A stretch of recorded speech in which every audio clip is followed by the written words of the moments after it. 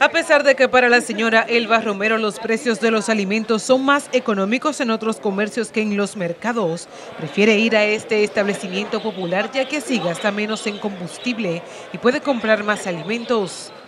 Dijo que constantemente compra vegetales como sustituto de las carnes que registran altos precios. Y lo he sustituido por tallota, berenjena, repollo. Los 5 mil se me hacen en una fundita de 3 mil. Medida similar adoptó este señor que prefirió no dar su nombre ante las cámaras de noticias SIN, pero sí aprovechó para pedir al gobierno intervenir a la brevedad en los aumentos del costo de la canasta básica. Lo he reducido a huevos, vegetales, papas, con ají morrón. Imagínese usted, tirando pata voladora.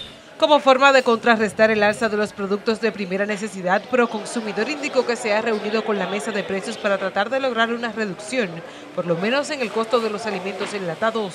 Y ya a partir del día de ayer comenzaron a generarse mecanismos de, de apareamiento que va a reflejarse en la disminución de los precios de cada uno de esos productos y van a mantener congelado por las próximas 12 o 14 semanas. Asimismo, Industria y Comercio exhortó a la población consultar en la aplicación precios justos del gobierno para comparar dónde es más barato adquirir los insumos, ya que indicó que los actuales precios de los alimentos son provocados por la inflación a consecuencia de la pandemia.